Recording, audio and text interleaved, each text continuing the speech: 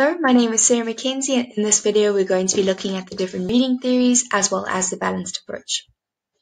The two reading theories are the bottom-up approach and the top-down approach. Firstly, the bottom-up approach is working from parts to a whole. That means we're going to start at the bottom of our triangle with letters and sounds and work our way up. The steps are firstly looking at letter and word recognition, into understanding the words, then to understanding the sentences, and lastly to understanding the whole. The bottom-up approach is also known as the behavioralist approach and also the skill achievement theory. Reading the scene is a complicated skill that's made up of sub-skills. So that's meaning that the learners first need to learn about the basics in order to fully understand more complex components of reading.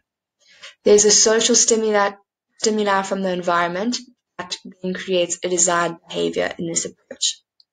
The emphasis on the sound of words and also the development of sight vocabulary is very important in this approach. An example of teaching the bottom-up approach is firstly by looking at the vocabulary, into speaking about the themes with the learners, into reading the story, and then to understanding the story and discussing the story with the learners. Then the top-down approach. The top-down approach is working from whole to parts. It's the opposite. We're going to start at the top of our triangle and work our way down. Um, so that's the steps for this are understanding, then to interpreting letters and words, and then to word recognition. The top-down approach is also known as the psycholinguistic approach and also the sense-making theory. So this is taking into account prior knowledge when encountering a new text. So there's a lot of meaning and understanding that is attached to the text in this approach, and attention is placed on the phonics and sight vocabulary.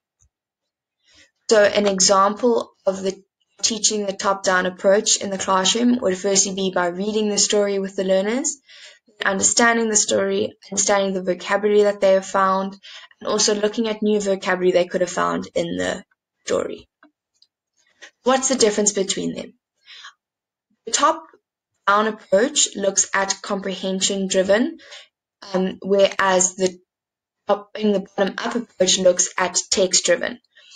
In the bottom-up, reading is seen as a detached skill, whereas in the top-down, reading is seen as a holistic process.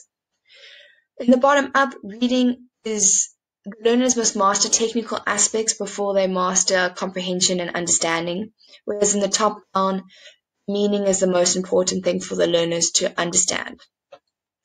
And in the bottom-up approach, reading is done um, out loud, whereas in the top-down, it is done through silent reading.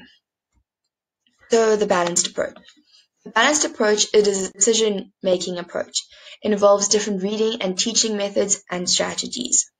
The balanced approach um, there's, there's a balance between whole language and phonics when learning to read. This is done through um, oral reading, vocabulary development, and also through comprehension. We can see by this um, diagram over here that balanced literacy involves reading, writing, and word study. The types of reading that are found in the balanced approach are reading out loud, um, shared reading, guided reading, independent reading, and also paired reading.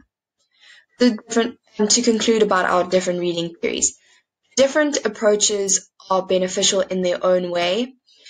Learner can, can be encouraged to use both the bottom up and the top down strategies to help them understand a certain text. They all play a fundamental role, fundamental role in the comprehension for uh, all play a fundamental role in the learner's trial to comprehend a text. All these um, theories lead to the creation of the mental framework that helps the learners to make sense of new experiences when reading. So thank you so much. I hope you enjoyed the video.